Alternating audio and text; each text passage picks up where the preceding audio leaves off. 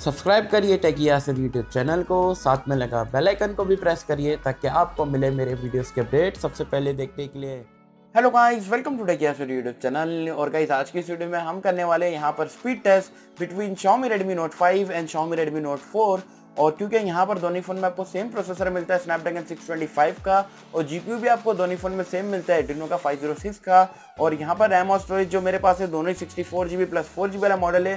मैंने सोचा कि क्यों ना आपको लोगों को स्पीड टेस्ट बता दूँ, और देख लेते हैं यहाँ पर दोनों फ़ोन में आपको क्या डिफरेंस मिलता है in terms of speed so guys चलिए वीडियो स्टार्ट करते हैं।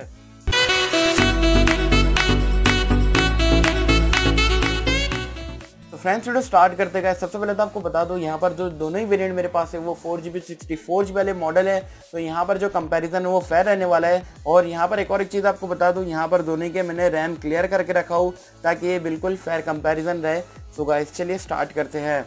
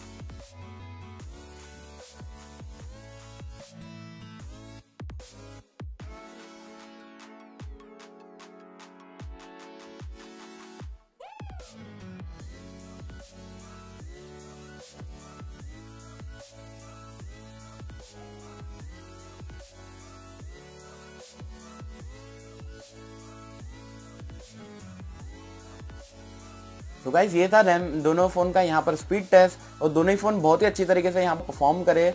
यहाँ पर ये स्लाइटली थोड़ा आगे था Note five as compare to Note four से। बट गाइज़ मैं आपको एक चीज़ बता दूँ, यहाँ पर जो नोट फाइव है, इसमें ज़्यादा कुछ चीज़ें नहीं है।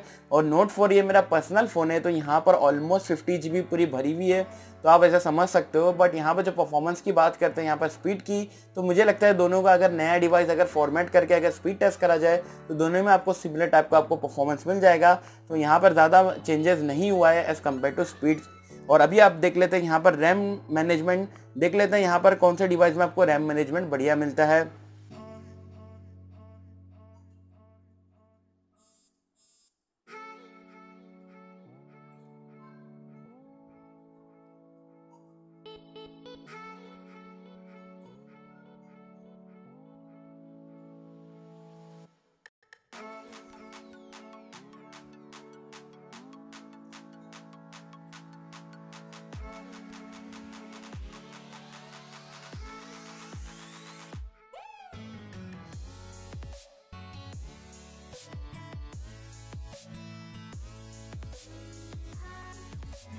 गाइज़ ये था रैम मैनेजमेंट रैम मैनेजमेंट में सारे के सारे एप्लीकेशन इन मेमोरी थे, दोनों ही फ़ोन में तो यहाँ पर अगर आप चार जी वाला मॉडल लेते हो तो यहाँ पर आपको बहुत ही बढ़िया रैम मैनेजमेंट देखने को मिल जाएगा। और Redmi Note 4 भी यहाँ पर पहले के कंपैरिजन में यहाँ पर रैम मैनेजमेंट बहुत ही बढ़िया हो गया है।